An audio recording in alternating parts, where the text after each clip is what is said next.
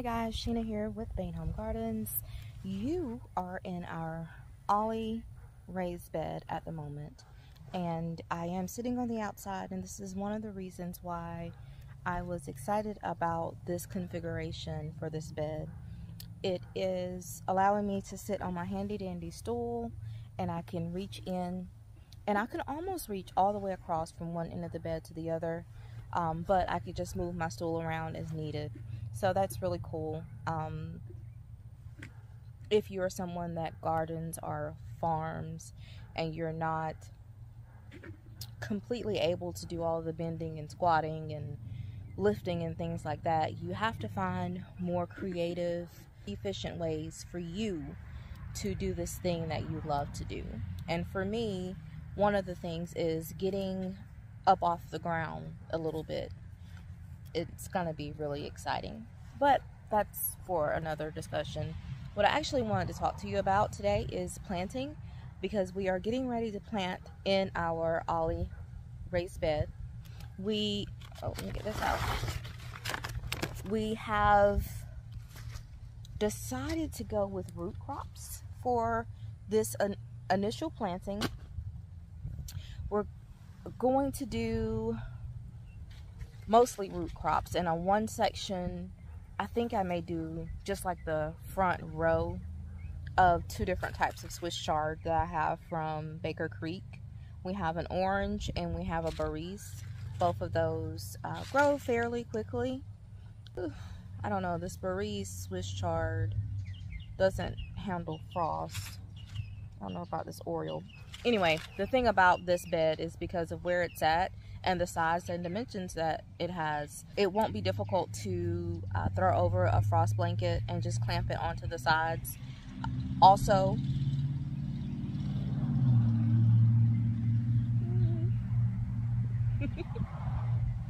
also, we could put shade cloth on, clamp it onto the sides as needed if we were in the dead of summer and we needed to add some um, shade to the beds.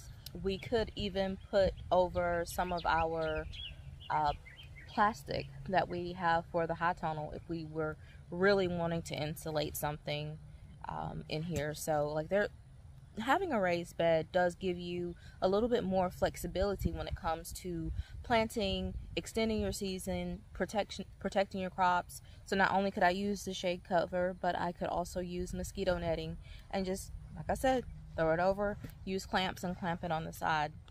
Um, you may even need to protect your crops from things like rabbits. Um, you may need to protect your raised bed from cats getting in and digging. We have a couple of cats. I think we've trained them pretty well. Finally, it took us about a good four months to get them to where they don't go into the beds anymore. That's a lot of work. But um, sometimes there's an influx of stray cats through the neighborhood. And so when we notice that, we see some strange cats come out, cover the bed with, and usually I'll use mosquito netting and just get it really tight and secure. So we have all those different options there. So I have Swiss chard varieties that I think I'm going to put towards the front because the, these Swiss chard leaves are so beautiful to me, like gorgeous. So I think I want to put a row of the orange on the um, back portion here the back of the front. So I'm going to do two rows on the front front, very front of the bed. I'm thinking about doing the Barese Swiss chard because it's a little shorter and more compact. And the Oriole Swiss chard is, uh, it can get a little bit, a bit taller. And then in the back, we'll just put our different root varieties that we're going to do. I'm going to do a section, I'm going to do it in three sections. So uh, I'm going to do a section of turnips. Um, we're going to do the Heidi, Hida Beni turnip. We did it when we were a part of the CSA, when we uh, grew it and the customers really enjoyed it. And then we enjoyed it too. It's just a really pretty turnip. It, it was reddish in color and um, it had a nice flavor to me. Uh, the leaves were kind of like that of a salad turnip, unfortunately, the year that we did them, the bugs really tore into them pretty bad. So I'm going to plant a few of the, I only have a few left in this pack. And, oh, What? Y'all, okay, these bugs. Um, so jalapeno turnip, and I'm gonna do a section of radishes. Ty was asking about um, can we plant radishes, so I'm gonna plant some with her in mind. But also, I think the rabbits can eat them too. Can the rabbits eat radishes? No? Well, okay. Well, somebody can. We eat them. So we're gonna plant radishes and my struggle bust crop. Like I have never gotten a substantial harvest of this item in all of the we've been doing this since 2017 since 2017 beets what in the world? Like i have no idea uh why can't. I grow beets. I just I, I get so frustrated. But i'm trying again. This time i'm going to be doing two different types. I'm doing a pelleted subeto subeto subeto and a Lutz green leaf winter keeper.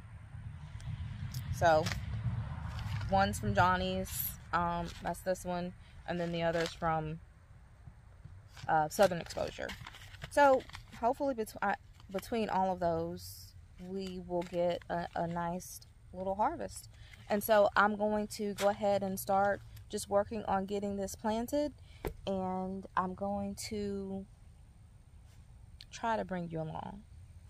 If the video goes to the end, just know I failed in what I was trying to do, okay? All right.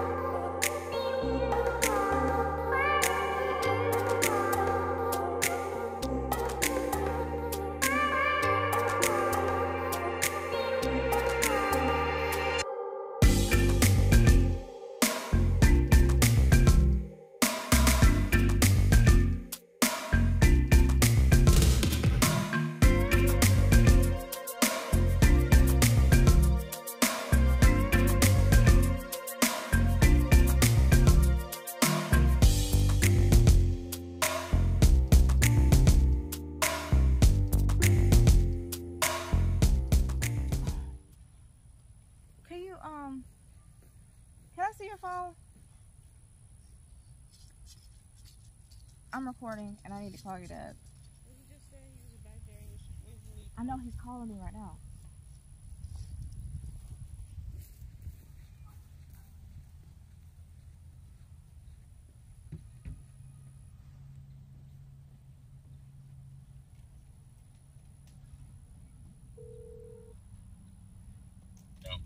Yes. I'm gonna pick up some snacks. Do you want um any snacks? Um mm, I guess for me the biggest thing that I could want would be like um Cheez Its maybe? Okay. Cheez Its and some ginger ale. And maybe just some plain potato chips for Brian. Okay. All right. I was I'm I'm in the process of recording the video. I mean, it's a it's one that I'll be doing a um voiceover on or sped through, but I didn't want to stop recording. That's why I called you like this. Okay. Yeah. Well, um, This is here, this is good. This is really good. what? The height, this height right here, is perfect for my stool. I can just sit on it and do all my planting. Well, I, I talk with you when I get back then. Okay. All right. Bye. Oh, you got it dirty. It was literally laying in the dirt yesterday.